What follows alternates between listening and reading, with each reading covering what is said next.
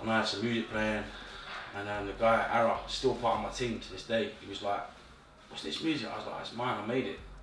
He was like, "Ah, it's alright, you know." He was like, "You're fired." Like, what do you mean I'm fired? He's like, "You're fired. You can't work for me no more." I'm like, "What?"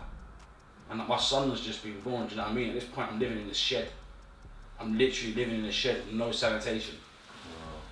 And um, he said, You're fired. And I was like, oh, I can't afford to lose the job, mate. I've got to feed my kid. And he's like, I'm going to manage you. And I was like, What? He's like, You're like a mad talent. Like, you're not just an editor. And then from there, things just, you know, things kept evolving.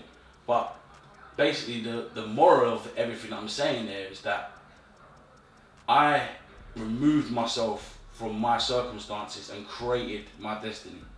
And if I'm capable of doing that, anybody and everybody is capable of doing Come that. on. And all it takes really is for one person to believe in you. Yeah, yeah. And do you know what? I'll even back you up because I remember when we were growing up, when I was a bit of a wild case Yeah. myself, with my cousin. Yeah. I said, "What are you doing? What are you doing wasting your time with everybody? You ain't gonna make no dough. We got to make dough on this. We got to do that, you know."